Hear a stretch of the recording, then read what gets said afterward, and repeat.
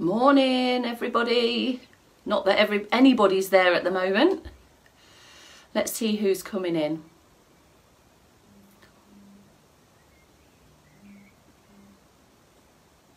We're having a slow start this morning. Here we go, first one in the house, Rebecca Townley. Good morning. My knee's a bit sore from yesterday, but we're good, we're good.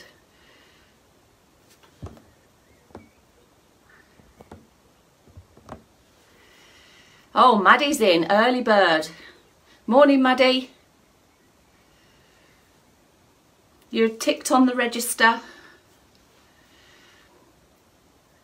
Everyone else is a tad slower this morning. They're probably just getting into place and sorting themselves out in their jammers still. Good morning, George is second person ticked off the register. Nice to have you with us.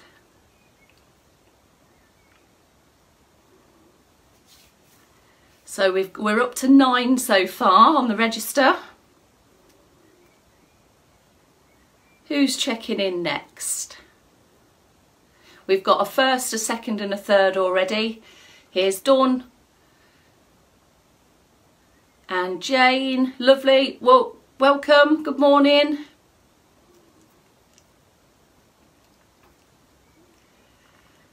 Lovely to have you with us today on this pretty miserable rainy morning here in Leicester. Good morning, Cambridge is in. And Bristol, lovely to have you. Come on, let's get them lumbers up.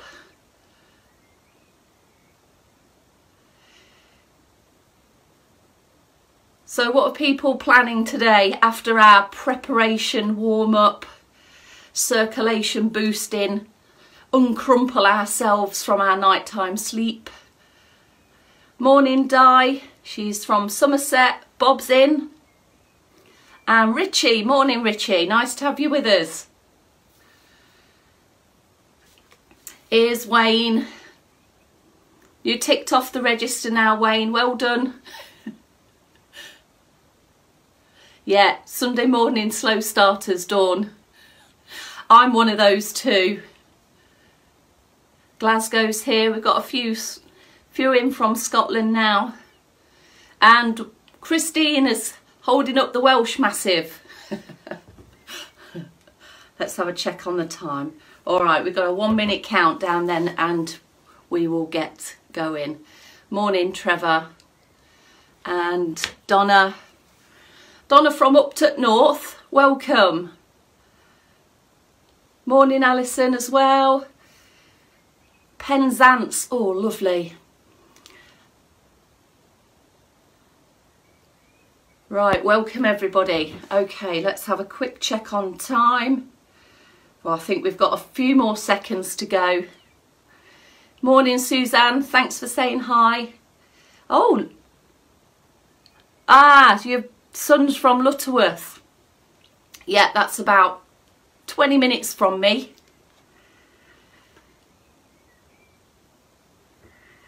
We're in a nice part of the country here.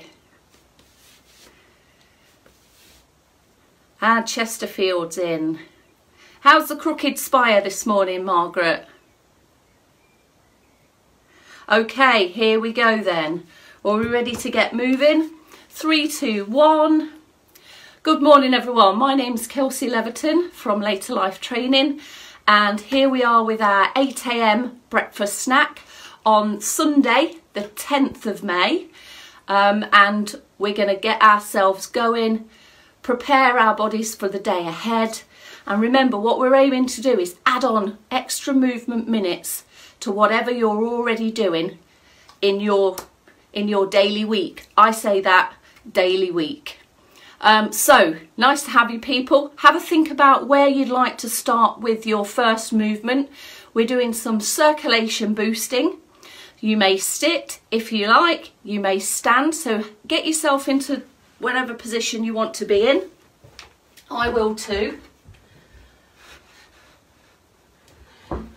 and have a think about what your posture's doing. Let's try and lengthen it out. So standing tall through your legs, standing or sitting tall through your middle bits. Try and have the shoulders as relaxed away from your ears as you can, lengthening through the top of your head. So we're trying to lengthen out the spine. When you're ready, in seated or in standing, and remember if you need to hold on at any point, you can have full support or you can hold on with one hand, whatever's fit for you. We're going to start moving the ankles.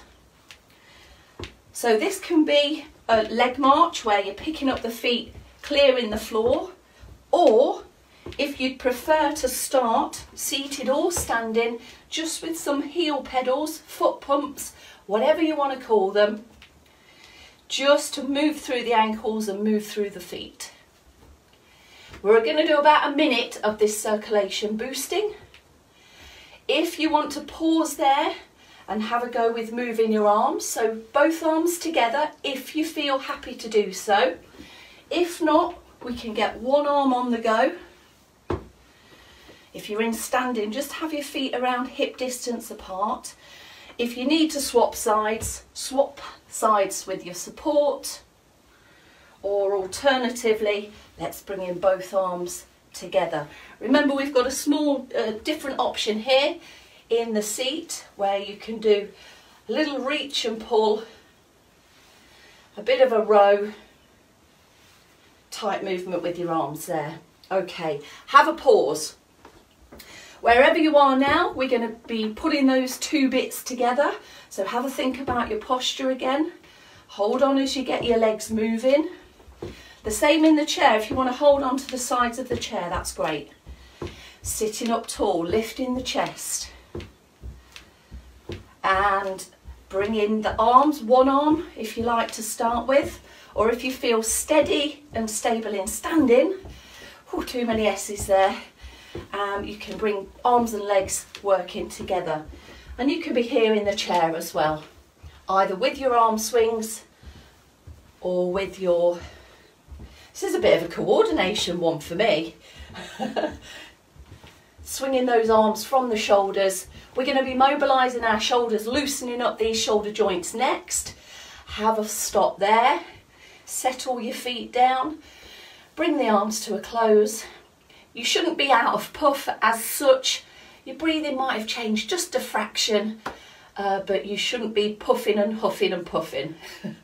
right, moving on to our shoulder circles then.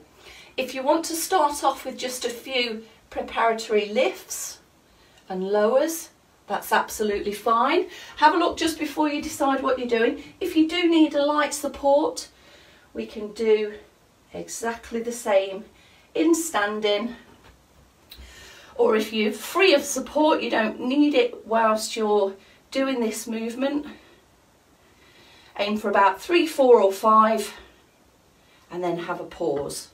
We're going to move on to our shoulder circles now. So moving the shoulders up, back and down, which is great for opening up your posture. So I'm just going to come down here so you can see the circle that I'm drawing with my shoulders. Remember you can hold on to your support in front of you or you can leave your arms just loose by the side of your body. Let your elbows hang loose as well. Big shoulder circle and a little squeeze and pinch of the shoulder blades together just before you relax back and down. So up, round, skimming the ears, back and down. Look, just look at that last down bit. And you should see the space between your ears and shoulders just increase. Shoulder circles, done. Let's move on to the head and neck now. So we're going to be loosening up uh, the neck by turning the head. So sometimes turning the head can offer a bit of a, throw a bit of a balance challenge for you. Just do these nice and smooth, really smooth and controlled. Holding on if you like, sat down or on your feet. We're looking over to one side first, heading back to the middle, and if everyone can just pause there for a split second before going off in the other direction. So by loosening up the shoulders first, we've actually started to help what's happening here around the neck. And what you'll find is, hopefully, is that after a couple of head turns in each direction, you might be able to feel your neck loosening up just a little bit more so you're able to twist a fraction further. Try not to force the twist though, we don't want the body to go with it, just the head to turn with a pause in the middle, seated or standing. All right, I think we should be about done with that one. We're going to move on to the neck movement. So this is where we lengthen out the neck and help the head sit in a more upright position on top of your shoulders. So uh, just a little bit of a closer up view for you. You can put your fingers just on your chin, keep your chin level with the floor and you're tucking the chin in and relaxing or just resting your head back into its normal place.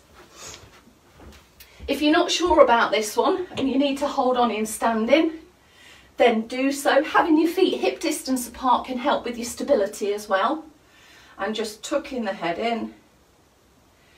You may feel a bit of lengthening going on at the top, uh, around the back of your neck in those muscles. And again, in seated, just holding on if you need to with one side. Three, four or five of them should be good enough just to help that lengthening and that mobilising of those stacks of spine. I've got a little visitor with me today. What's he doing? A little fly trapped in the room. Okay, so that's your trio at the top done. Moving on to your middle. Three here, a trio of trunk, I believe we've been calling them. We'll start off today with a back extension, which you can do in the chair, of course. So just with your hands around at the side of your hips, either hands there or palms, depending on what's happening in your shoulders and how comfortable they feel.